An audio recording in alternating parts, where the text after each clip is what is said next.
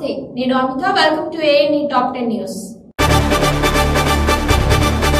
ఉత్తరాది వర్షాలు వరదలు వరదలడం లేదు. అస్సాంలోని పలు జిల్లాల్లో వరద పరిస్థితులు కొనసాగుతున్నాయి.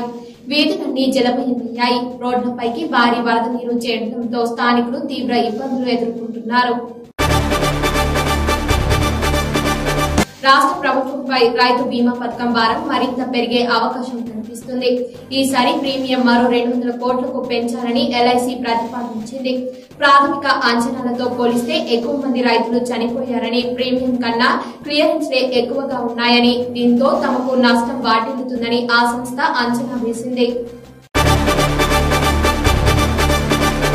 ఖమ్మం జిల్లా కొత్తగూడెంలో గ్రీన్ఫీల్డ్ ఎయిర్పోర్ట్ కోసం టీఎస్ఐఎల్సీ లిమిటెడ్కు కేంద్ర పౌర విమానయాన శాఖ సైట్ క్లియరెన్స్ అనుమతులు ఇచ్చిందని ఆ శాఖ మంత్రి హర్దీప్ సింగ్ లిఖిత పూర్వకంగా సమాధానం ఇచ్చారు వైద్య ఆరోగ్య శాఖలోని పద్నాలుగు వందల అరవై ఆరు ఉద్యోగుల భర్తీకి ప్రభుత్వం కసరత్తు చేస్తుంది. రిక్రూట్మెంట్ ప్రక్రియ విధి విధానాలపై జేఎన్టీయూ రిజిస్టర్తో వైద్య ఆరోగ్య శాఖ ప్రిన్సిపల్ సెక్రటరీ శాంతి కుమార్ ఇటీవలే సమావేశం నిర్వహించారు.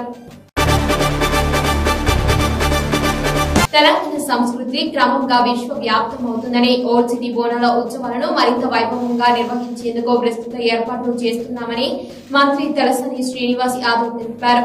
గురువారం ఆయన పలు ఆలయ ప్రాంతాలలో పర్యటించి ఊరేగింపు ఏర్పాట్లను పరిశీలించారు.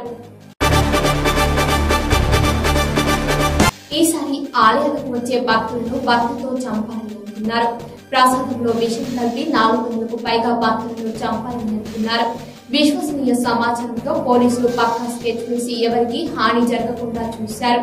ఈ మేరకు మహారాష్ట్ర ఏడీఎస్ అధికారులు చార్జ్షీట్ దాఖలు చేశారు.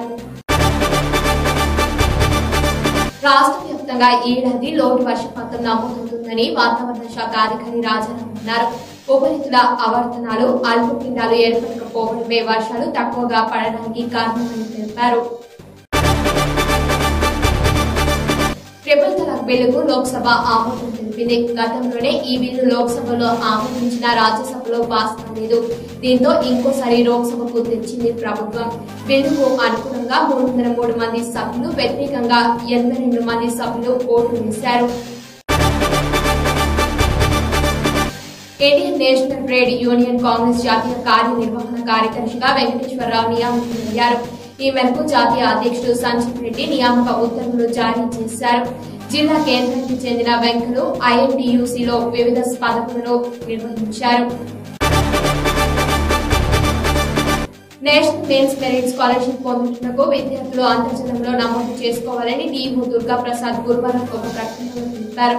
సంబంధిత అర్హత పరీక్ష రెండు వేల పద్దెనిమిదిలో ఉత్తీర్ణులైన వారు రెండు వేల పంతొమ్మిది ఇరవై సంవత్సరానికి ఉపకార వేతనాలు పొందవచ్చని పేర్కొన్నారు. ఇవి ఇప్పటి వరకున్న టాప్ టెన్ న్యూస్. చూస్తూనే ఉండండి మీ ఏఎన్ఏ న్యూస్.